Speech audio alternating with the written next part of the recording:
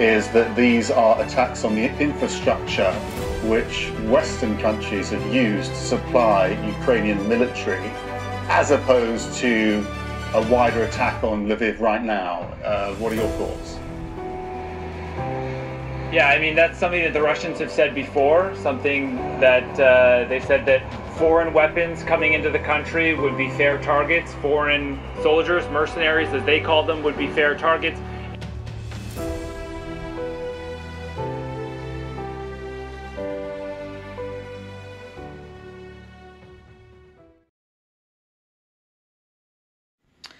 Okay, so I'm trying to do this video, um, which I initially didn't know I would be doing a video, but um, I need to show y'all this.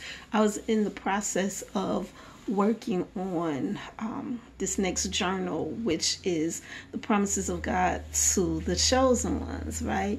And so one of the scriptures that I'm dealing with, I'm still in the, I'm at the like the last of the well, I'm just what the last of the Old Testament scriptures before I go into all of the New Testament Testament ones. And so I'm uh, I was working on Jeremiah chapter 1, verse 4 through 19. It was like way too big, right?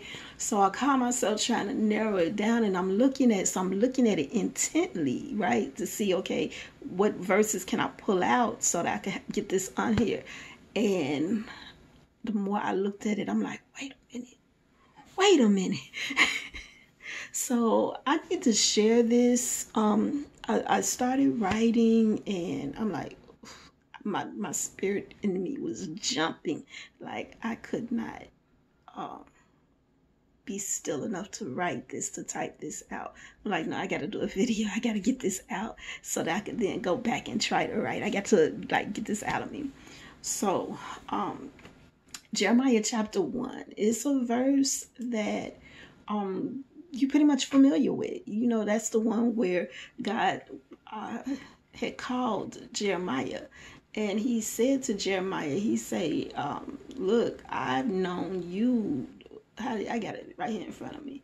He say, uh, before I formed you in the womb, I knew you. Like before I formed you, I knew. So we know this verse, right? Um, but that's not the part that I want to focus on. It's something else that God was saying in the process of calling Jeremiah. And I'm looking at it, and it's very applicable for today. Like it is for real for today. And so, so the first part, because Jeremiah, God spoke to him several times. So we're gonna look at the first one. We're gonna get the first one out the way because everybody know this one. It says, "The word of the Lord came to me, saying, Before I formed you in the womb, before I formed you in the before, like, like you got to understand, you got to catch this now, okay? Um, for a child to come to be." There is a man and a woman that has to come together. A man and a woman that has to come together for this child to come to be. You under, do you understand? Well, of course you understand.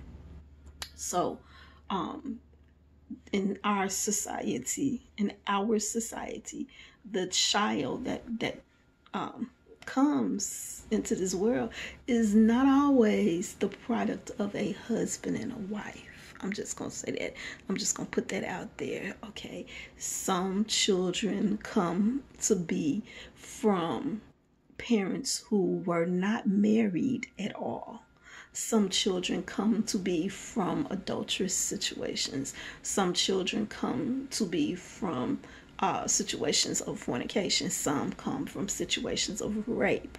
But, and I'm saying that to say this no matter how the situation came to pass that the child began to form in the womb, God said, Before I formed you in the womb, I knew you.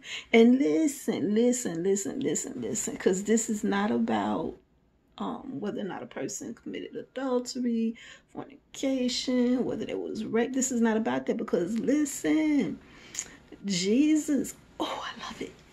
Jesus. Um, father, his for real father, was not married to Mary. Do you understand? Jesus' life was put into the womb of a virgin. Okay? So Joseph was his stepdaddy. It was not he was not his birth daddy. Y'all, y'all catch me, y'all follow me, flow with me with that. Okay, so he says, Before I formed you, before I formed you in the womb. So I'm about to say this, and I'm about to say this like one more time. It doesn't matter how the life of the child came to be growing in that womb, in the mother's womb. Who put it there, who ordained for it to be there was God Almighty. He said, I knew you before I formed you in the womb. In other words, I had to know, I had to make the decision of who your mama was going to be and who your daddy was going to be. And and I knew that. I foreknew that before you was in the womb, before you was formed. Okay, it says, uh, before you were born, I set you apart. I appointed you as a prophet to the nations before you were born. before you were that is so significant but this is not even the part that i want to to harp on or, or, or like focus on.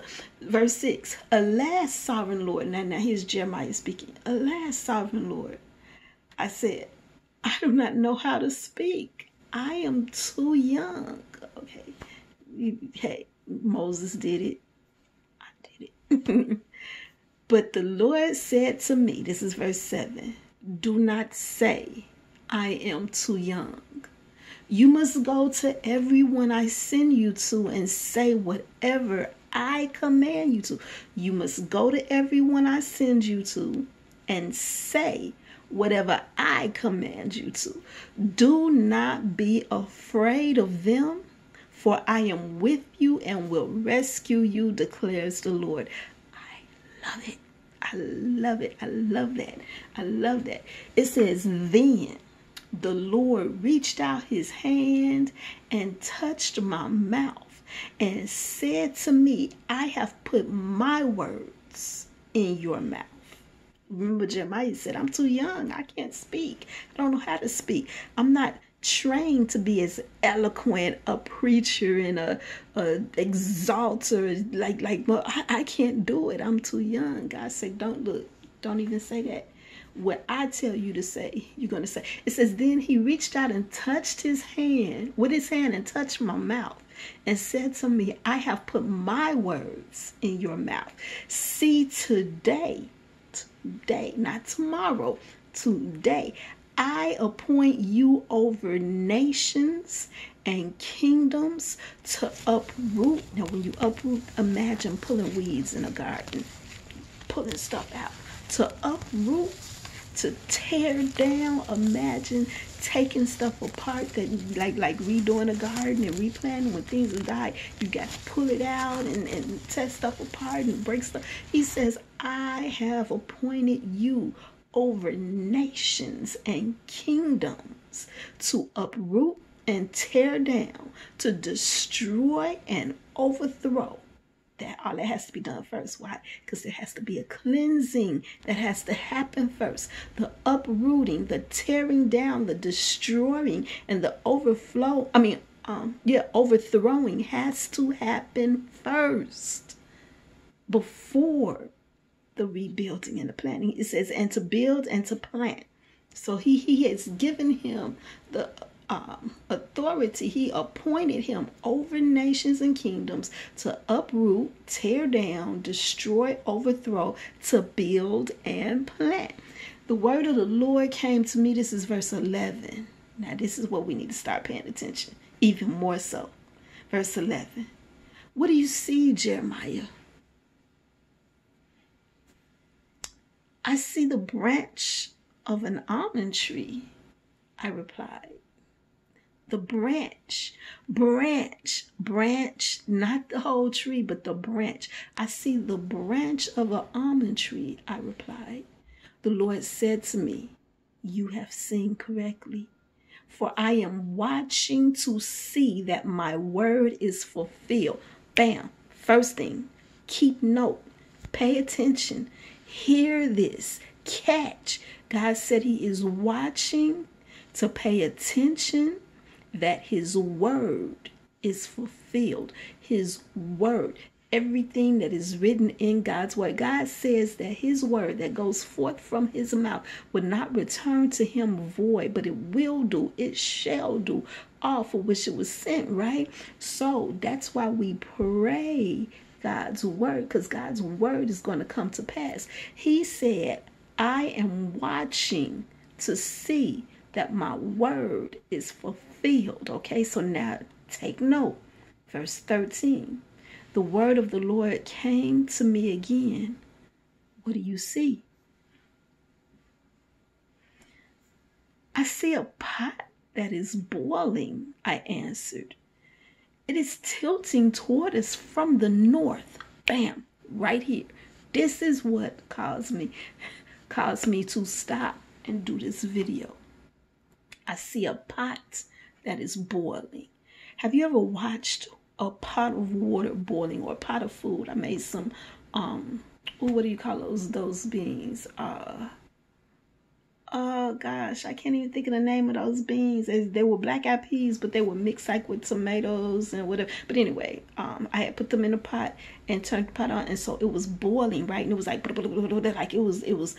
So there's some craziness that's going on. My my fingers is the the bubbly part of it when it's boiling, right? There's some craziness going on. He sees a pot that is boiling, not simmering, not simmering not hot and smoking, but boiling. Like when it's boiling, when when you put um pot in the water to boil, it bubbles. Or when you put like milk in a in a pot, say you're gonna drink some hot chocolate, and you put milk in a pot.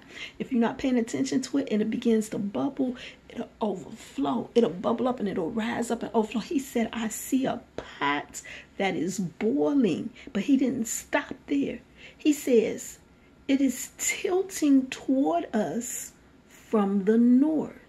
There is a pot boiling. It is tilting toward us. Where's the location? From the north.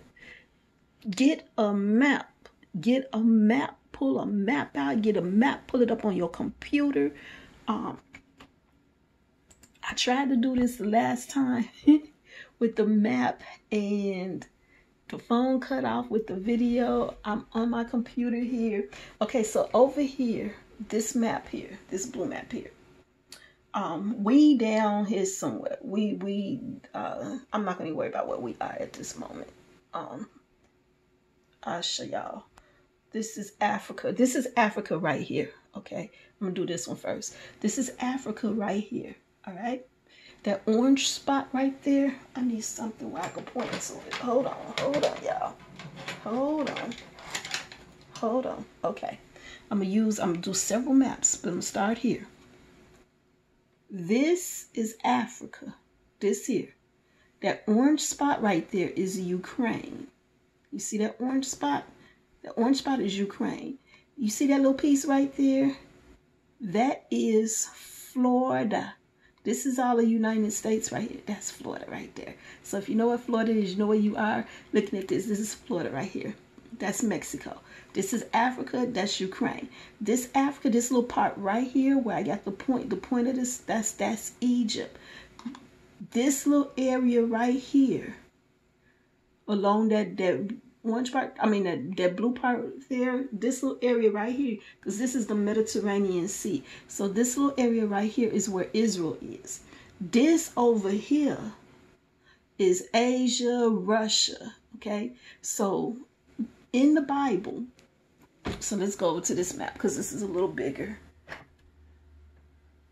Move my little mouse out the way so I quit bumping it. Okay, so this one is a little bigger. So here is Egypt right here. And here is Israel right here. To the north of Israel, which is, okay, so it's pointing this way for north. It's pointing this way for north. So to the north of Israel, which is up here, this way, you have Ukraine, but you also have Russia. You see what says Russia? So that's to the north of Israel. So he said, I see a pot that's boiling. That's what he said. And it's tilting. Let me get back, pull that scripture back up. He said, I see a pot that is boiling and is tilting toward us from the north. Now, the reason he would say it's tilting toward us, if Russia is up here, can y'all see where I'm pointing? If Russia is right here, which it is, you see where it says Russia. Russia is right here and Ukraine is right here. And they are fighting Ukraine. Israel's right here. So there is this a, it's a pot that's boiling and this tilting toward us. He's here. And he see it. Now he doesn't know about it. Back then, it probably wasn't even called Ukraine. They changed their name so much. They they changed names so much. So it probably wasn't even called Ukraine back then. But this he just saw it tilting toward them and so that's what's happening now right now in the news. That's why when I read this, I'm like, wait a minute, wait a minute. I need to share this. I need people to see this and look at this. Listen, listen. Back in what? Well, no, I'm not gonna go there. I'm not gonna go there. I'm not gonna go there. Um. So he says, uh, this is verse 13, Jeremiah chapter 1. The Lord said, came to me again. What do you see? Jeremiah answers, I see a pot that is boiling it is tilting toward us from the north. Okay, that's Russia. The Lord said to me, this is verse 14, pay attention to this. Pay attention to this. From the north, disaster will be poured out on all who live in the land. You guys are angry. Everybody's angry about what is happening, but God is getting ready to say why. He's going to tell you why it's happening. For us now, I do. I'm mm, write this down real quick so I don't forget us. Ezekiel nine. Okay. All right. So let me go back to here and finish with this, and then I'm gonna tell you about us as we see this, what we're supposed to do. Verse 14, the Lord said to me, From the north, Russia is the north Russia's to the north. We are to the south. United States is to the south. In Daniel, when you read in Daniel about this struggle between the north and the south, the kings of the north and the kings of the south. Now, just now, here's here's where it gets thrown off about us. We are called North America, right? We're called North America, right? But look, just because we're called North America don't mean that we're to the north that we're the kings of the north or however we are the kings of the south because it was all about Israel. And it was all about Jerusalem. And it was so so the Bible when it was written they were the center location Israel Jerusalem Judah. That was the center right there. And so everything to the north of them or to the south of them right? You got to think of where the Bible writer was when he was writing. So Jeremiah saw this boiling happening to the north and it was pouring towards them he it, it, it wasn't necessarily meant for them was it? Like their argument their fight is with ukraine. I, I have to go and do some research to see like how ukraine fits in the picture. I'm, I'm gonna be honest with you. I'm not about to do that right now. Like i'm not f- feeling led to research any of that. But when i saw this and in comparison to everything that's going on i knew i needed to share this. So the lord said to me and i I can only pray that this information reaches anyone who is connected to Ukraine, anyone who is connected to um, uh, Israel, like like uh, Judah, the, these tribes that's over there. Anybody, I, I pray that you hear that this gets to you in some type of way, that you hear this, that you go back and look at it, and then pay attention to what God is saying to do. He's telling us what He tells us. He says in Amos, He says that He won't do a thing. I think it's Amos chapter 3, verse 7 or verse 9. He says He won't do a thing without first telling his servants, the prophets. He said he won't do nothing without first telling his servants, the prophets. And the reason why is because the warning goes first. Because here's the deal God don't want to destroy anybody. He doesn't. His desire is that we all attain to repentance. That's his desire, right? So listen to this. This is again, this is Jeremiah. Please listen. It says, The Lord said to me, From the north, disaster will be poured out on all who live in the land. We see this stuff happening today. It says, I am about to summon all the peoples of the northern kingdoms, declares the Lord. I'm to read that again. I am about to. He said he's getting, whenever we say we're about to do something, we're basically saying we're getting ready to do something. That means that, look, we need to act now. We need to act now. It says, um, I am, verse 15, Jeremiah chapter 1. I am about to summon all the peoples of the northern kingdoms, declares the Lord. The kings, listen now, listen, listen. The kings will come and set up their thrones in the entrance of the gates of Jerusalem. They will come against all her surrounding walls and against all the towns of Judah.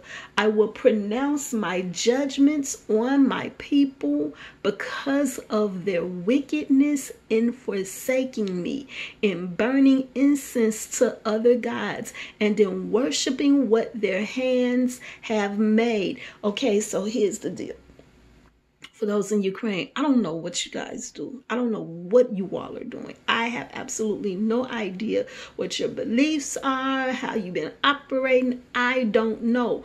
Only you guys know. You know. You know individually, you know collectively how, how you guys have been operating before you came into all of this that's going on now, which brought you to the forefront of all of our news stations and got everybody like watching and reacting and feeling some type of way. Only you guys know. Only you all know. This is what the Lord said. He said, the kings, I'm, I'm going to go back up, verse 15. I am about to summon all the peoples of the northern kingdoms, declares the Lord. Their kings will come and set up their thrones in the entrance of the gates of Jerusalem. Jerusalem represents the place of worship. Okay, Jerusalem represents the place of worship. It says they will come against all her surrounding walls and against all the towns of Judah. I will pronounce my judgments on my people because of he's telling us why. This is verse 16 jeremiah chapter 1 i will pronounce my judgments on my people because of their wickedness in forsaking me and burning incense to other gods and in worshiping what their hands have made and in worshiping what their hands have made Verse 17 Get yourself ready. He's telling us now.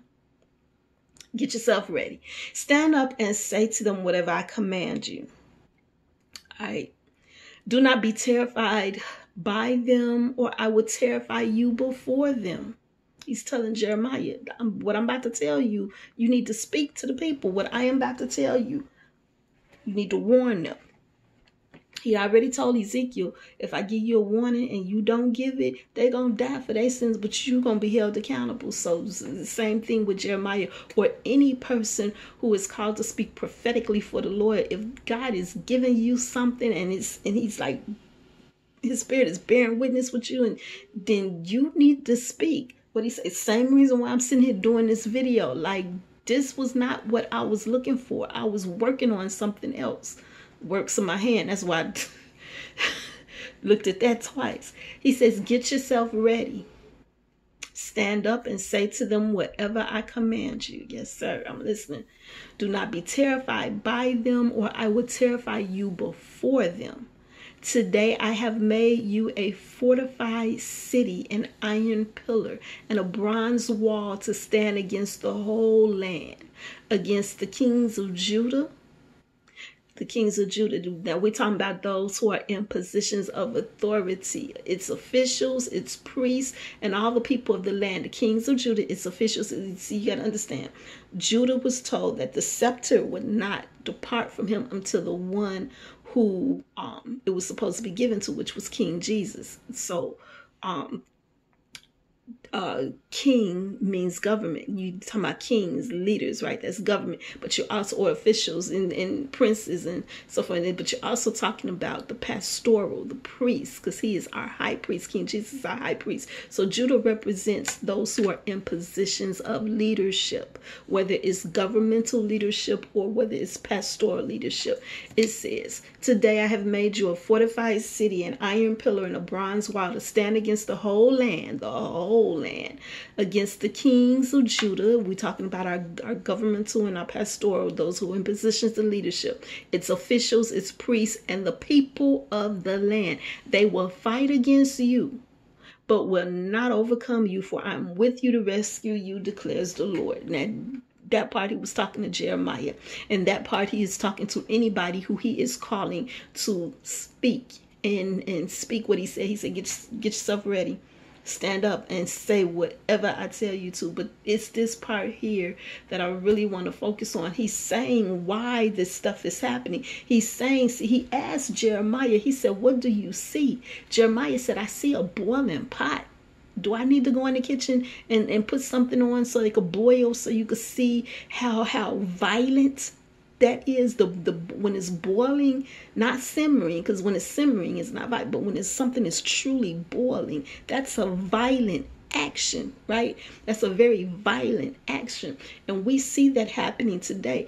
Jeremiah said i see a boiling pot and it's tilting toward us from the north. Jeremiah was in israel. He was in one of those israelite or or judah was in one of those lands um, one of those areas that was governed by by the Israelites, and he saw something from the north. Okay, that application today would be Russia tilting towards and he said it was tilting towards us he didn't mention he didn't he didn't see Ukraine. He didn't see like and he didn't say, okay, I see Russia and Ukraine. All he saw was something from the north tilting toward us, and Ukraine is right above Russia. And God just said, You saw correct. God told him from the north, disaster will be poured out on all from the north. He's telling them. And then he said, Why? Verse 16, I'm pronouncing my judgments.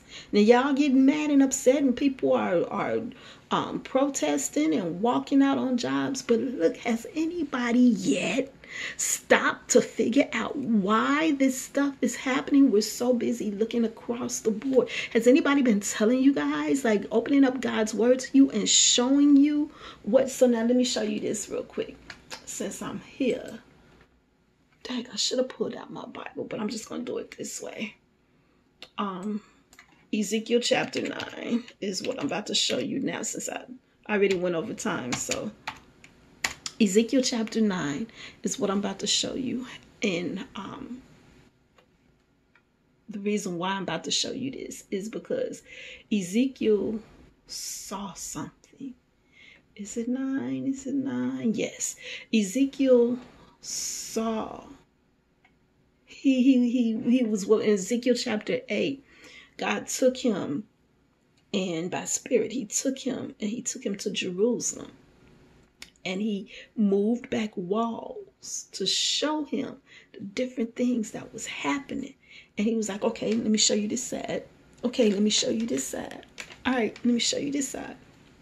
And so when he did that in chapter 9 of Ezekiel, the next thing you know, Ezekiel, he is standing with the Lord and, and he hears a voice says, Bring near those who are appointed to execute judgment on the city. Bring near those who are appointed to execute judgment on the city, each with a weapon in his hand. He saw six men coming but then there was another one with him, but the other one didn't look like the, the first six. The other one was dressed in linen with an inkhorn. Linen with an inkhorn. And he told that one dressed in linen with inkhorn, he said, Go and mark on the foreheads those who grieve and lament over all the detestable things that are done in it. This is verse number four. God told Ezekiel that. He said, I mean, God God told the the um, man that was clothed in linen with a writing kit at his side. This is somebody that's writing, right? He says, Go throughout the city of Jerusalem. Remember, I told y'all Jerusalem represents the place of worship. It says, and put a mark on the foreheads. When you mark somebody in the forehead, now you got them thinking about it, thinking about, you know, again, our writings, stuff that you're reading, the videos that we're doing. He says, Put a mark on the foreheads of those who grieve and lament over all the detestable things that are done in it. As I listened, he said to the others, Follow him through the city and kill without showing pity or compassion. These six, right? Let's see, which way did they go? Oh. Oh. Let me go back. Let me go back. Ezekiel chapter 9, verse 1. Then I heard him call out in a loud voice, Bring near those who are appointed to execute judgment on the city, each with a weapon in his hand. So these ones who are getting ready to execute judgment, they were appointed by God. They were given the authority to do so by God. Verse 2 And I saw six men, six represents gross imperfection, right? I saw six men coming from, or six represents imperfection I saw six men coming from the direction of the upper gate, which faces north. They were coming from the direction of the upper gate, which faces north. So if the upper gate faces north and they were coming from that direction, they were coming from the north. Y'all catching me? Who's north? Russia is north. It says, as far as what's going on today. Russia is to the north. It says, um, with them was a man clothed in linen who had a writing kit at his side. They came in and stood beside the bronze altar. Okay, so now I just wanted to see that when I saw the direction, like this is important. It says, Now the glory of God of Israel, of the God of Israel, went up from above the cherubim where it had been and moved to the threshold of the temple. Then the Lord called to the man clothed in linen who had the writing kit at his side and said to him, Go throughout the city of Jerusalem and put a mark on the forehead of all those who grieve and lament over all the detestable things that are done in it. As I listened, he said to the others, Follow him through the city and kill without showing pity or compassion. He's telling them to start at my house. Start at my house first. You're going to start in um, the, the, the, government. You're going to start in the church. You're going to start at my house first. He says, slaughter the old men, the young men and women, the mothers and children, but do not touch anyone who has the mark begin at my sanctuary. So they began with the old men who were in front of the temple. Then he said to them, Defile the temple and fill the courts with the slain. Go. So they went out and began killing throughout the city. While they were killing, I was left alone. I fell face down, crying out, Alas, sovereign Lord, are you going to destroy the entire Israel in this outpouring of your wrath on Jerusalem? He answered me. The Lord answered him. Now that all of that is key because like I'm doing these prayer prayer journals, right? And I get and I'm creating these prayer journals, right? So it says he answered me. God answers. He does answer. He said the sin of the people of Israel and Judah. Israel represents all of God's people as a whole. Judah represents those who are in positions of leadership, the governmental as well as the pastoral. Um, it says the sin of Israel and Judah is exceedingly great. The land is full of bloodshed, and the city is full of injustice.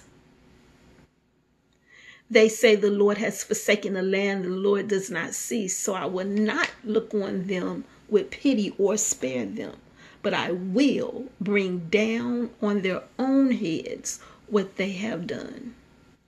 Then the man in linen, then the man in linen with the writing kit at his side brought back word saying, I have done as you commanded.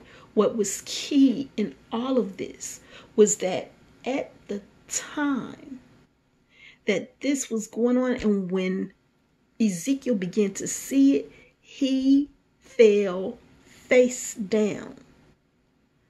He humbled himself face down and he began to cry out. So he humbled himself and prayed and he sought an answer from the Lord. He he cried out, Alas, sovereign Lord. So now he's praying to God. And here's his question Are you going to destroy the entire remnant of Israel in the outpouring of your wrath on Jerusalem? In other words, you you you upset with the leaders. You upset because listen. This book here, Iron Sharpens Iron. In this book, I expose the fact that it is the sins of the priesthood and the sins of the or the sins of the pastoral, the priest, the past, because I don't want to hit nobody saying, you know, if it's priest, you're talking about Catholicism. No, baby, I'm talking about everybody in religion. It is the sins of the religious leaders, let me put it like that, and the sins of the government that will bring a plague on all the people. I'm going to say it again. It is the sins of the religious leaders and the sins of the government that will bring a plague on the people as a whole. So Ezekiel, when he saw everything happening, he hit his knees, he covered his face, and he cried out, Alas, O sovereign Lord, will you destroy the entire remnant of Israel? Remember, Israel represents all of the nation. He said, Are you going to destroy everybody because you're mad at Judah? He said, He said, well, not Judah, but Jerusalem. He says, Will you destroy the entire remnant of Israel in this outpouring of your wrath upon Jerusalem? Place of worship, his house, his house. God said, He answered, Remember, he said in, in Second Corinthians, Second Chronicles, um, chapter seven, he said, "If my people who are called by my name will humble themselves." That's what Ezekiel did. He fell down and he covered his, his face. If they will humble themselves, if they will pray, alas, so sovereign Lord, in the name of Jesus, we pray in the name of Jesus, right? Um, but Jesus had not yet come at that time. They had direct communication. They, they, they, he said, alas, O sovereign Lord. He said, if they would seek my face. So he now asks God a question. Are you going to destroy everybody? You, you're mad at them, but you're going to make us all accountable. You're going to destroy everybody. And God answered. And he said, if we would turn from our wicked ways, in other words, when God tells us what to do, when we seek his face and he give us an answer, we need to do what he say do. He answered, God answered, he said, the sin of the people of Israel and Judah, not or, and, that means both of them, the people as a whole, as well as the leadership. Because look, when the leadership sins, they cause the people to sin. When the leadership sins, they cause the people to sin. The minute we get to groaning, the minute we get to talking about leadership, the minute we get to groaning, talking about leadership, we're sinning. The sins of the leadership causes the people to sin. You don't believe me. It's all in Leviticus, and I broke it down in this book, Iron Sharpens Iron. Um, he said the sin of the people of Israel and Judah is exceedingly great. He didn't say it was great. He said it is exceedingly, exceedingly great. Like, like greater than great. Is exceedingly great. He says the land is full of bloodshed, and the city is full of injustice. They say the Lord has forsaken the land. The Lord don't see. People think God ain't watching. He ain't watching. He ain't paying attention. I can do whatever I want to do. They don't even think about what they do. And when they do whatever they do, they don't think that God is seeing them. It says, at the point of this, while this, this was happening, when God was speaking this, the man clothed and then he came back and said, I've done as you commanded. God told us what to do. He told us what to do. This is my last thing I'm about to share with y'all. He told us what to do. Second Chronicles, chapter 7. Y'all know the verse. It's verse number 14. Second Chronicles chapter 7 verse 14 he says if my people who are called by my name will humble themselves and pray and seek my face and turn that's the last part of it. We we know how to humble ourselves. We know to hit our knees cover our face and and, and, and recognize that we are nothing in comparison to God. We're nothing. We need him. We need him. His breath his exhalation is our breath. We need him. He sustains us all. We are nothing. Humble ourselves before him. He is sovereign. Pray. Cry out to him. Pray. Seek his face.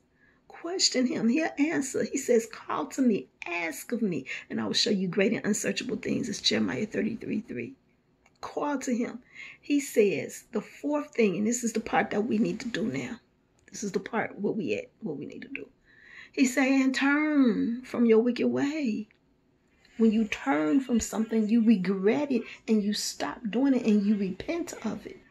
You turn from your wicked way. He said, turn from our wicked way. He says, then so we don't we we can't do one thing and think it's done. We can't do two things and, th- and we got to do it in order. Because let me tell you, if you pray but you're not humble in your prayer, baby, you think your prayer is being heard. Humble yourself. We got to do it in order. The first thing is to humble ourselves. The second thing would then be to pray. The third thing would then be to ask God a question, seek his face, get an answer. I need an answer from you. Like Jeremiah, uh, not Jeremiah, like Jacob. I'm not letting go until you answer me. I'm not letting go until you bless me. I'm not letting the, the uh, angel of the Lord touched him in his hip. And he was like, I'm still not letting. He had a grip. He was like, I'm not letting go. And he got his name changed to Israel.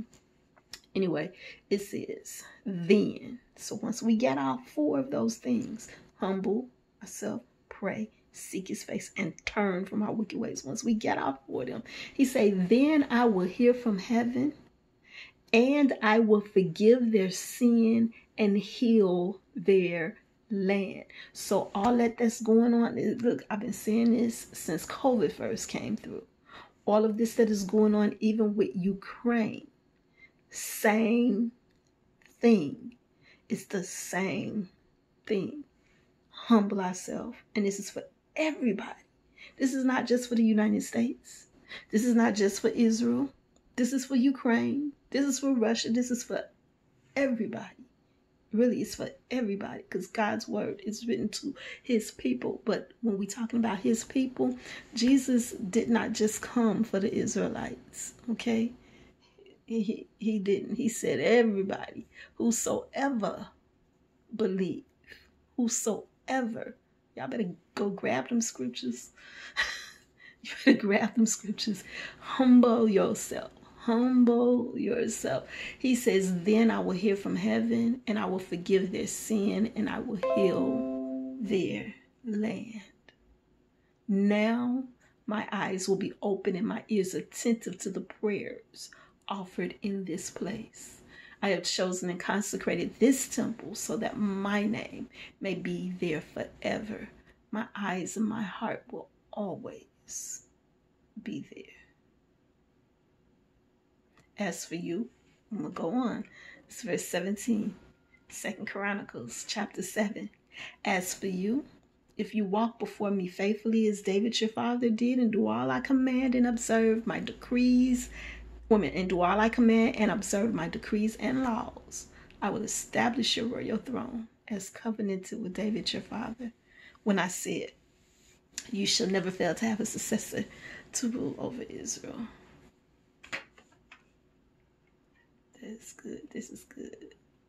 It says, But if you turn away and forsake the decrees and commands I've given you and go off to serve other gods and worship them, then I will uproot Israel from my land, which I have given them, and will reject this temple I have consecrated for my name.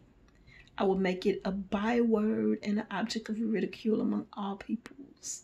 This temple will become a heap of rubble all who pass by will be appalled and say, Why has the Lord done such a thing to this land and to this temple? He's telling us why. It says people will answer because they have forsaken the Lord, the, the God of their ancestors who brought them out of Egypt, and have embraced, embraced other gods, worshiping and serving them. That is why he brought all this disaster on them. Y'all better examine. Y'all better examine, dig, dig into this stuff, examine it, look at stuff for real, for real. We in this time frame has been taught so many lies, and we've embraced so many traditions, and this stuff has been angering God. It has been angering God. Y'all better look into it. I pray that you hear this, that you hear this.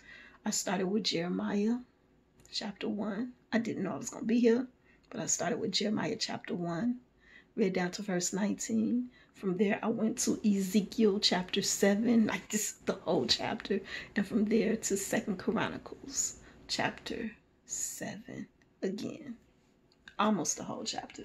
Um, I actually started at verse 14 for Second Chronicles, but I hope y'all catch this. I hope y'all listen. I was not looking for this.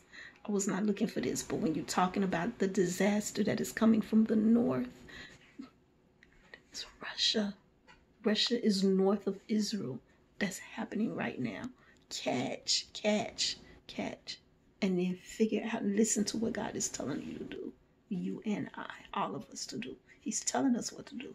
Pay attention. All right, bye.